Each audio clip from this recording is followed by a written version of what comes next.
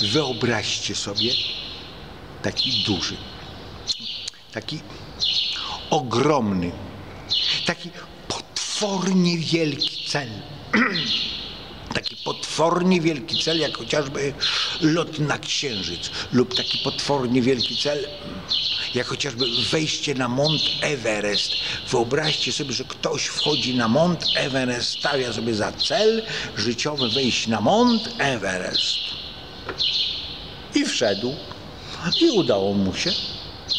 I kosztowało go to bardzo, bardzo dużo pieniędzy, bardzo, bardzo dużo potu, bardzo, bardzo dużo wysiłku. Wszedł na Mont Everest i ma bardzo, bardzo dużo radości, no bo jest na największym, na najwyższym punkcie na Ziemi. Osiągnął największe, co można osiągnąć. No bo w tej chwili na Księżycu nie latają i nie da rady. Najwyższe, co można osiągnąć, to jest Mont Everest. I teraz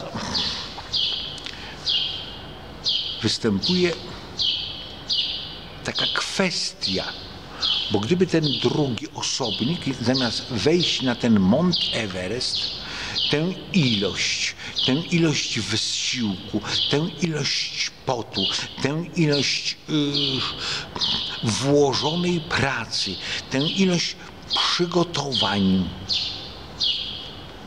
tę ilość pieniędzy przeznaczył na coś innego, zamiast budować jeden ogromny, cudowny, wspaniały kościół lub jedną cudowną, wspaniałą piramidę, można by wybudować 327 domków jednorodzinnych lub 475 tysięcy domków dwurodzinnych, w zależności od tego. I teraz są tacy, którzy twierdzą, że gdyby ten ogromny cel zamienić na mniejsze cele, to nie dość, że tego mogłoby być więcej, to można by mieć radość codziennie, a nie tylko w momencie wejścia na Mont Everest. Taką ogromną radość, gdyby zamienić na tysiąc mniejszych radości, to mogłoby się okazać, że tego jest więcej. I zazwyczaj tak jest, ponieważ ogromny cel niesie ze sobą ogromne ryzyko.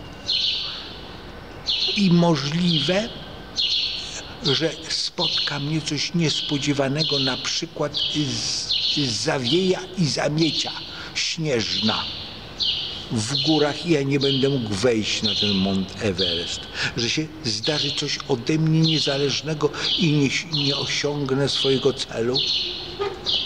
I kochani, przez ogromną część swojego życia uważałem, że im większy cel, tym większy sukces i tym większa chwała. A teraz doszedłem do wniosku, że bardziej sensowne jest mieć codziennie cel, codziennie go osiągnąć i codziennie się cieszyć, mieć codziennie radość z osiągania celu. I dlatego, kochani, dzisiejszym celem jest ten filmik.